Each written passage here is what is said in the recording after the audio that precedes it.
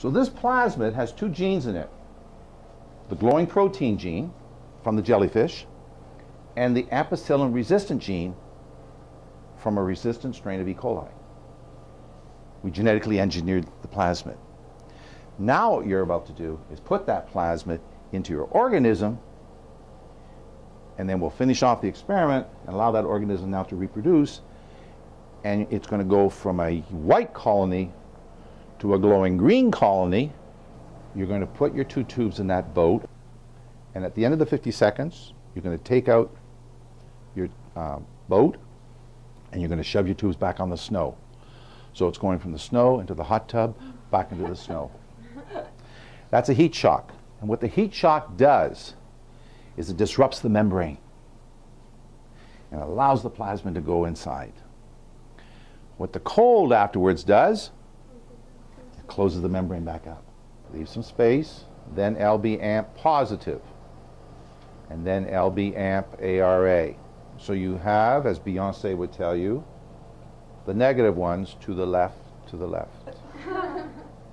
and you have the positive ones to the right. Now you're probably going to ask the same question you asked after we finished the strawberry lab. What do we do with the DNA?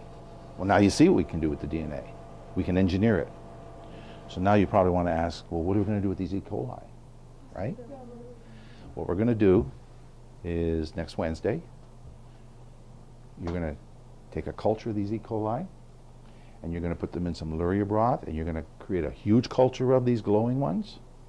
And then over the next subsequent three classes, you are going to purify the glowing protein.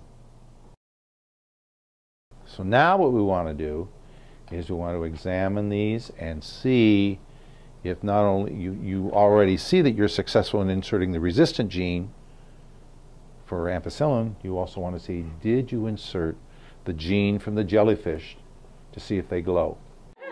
Yours are crazy. These are so nice. Who's the one in the middle? Kativas. Crazy green. Katiba, way. Mr. Bioengineer. like mine are glowing. Who's the one closest to Rachel there?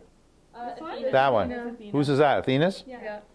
Nice job, guys. That's a beautiful job. That's a lot of transformation. And each one of those colonies represents a successful transformation in one cell. And then that cell was going through binary fission and it's produced thousands, maybe even millions of cells in each of those colonies. Why am I so big? A light show. Mine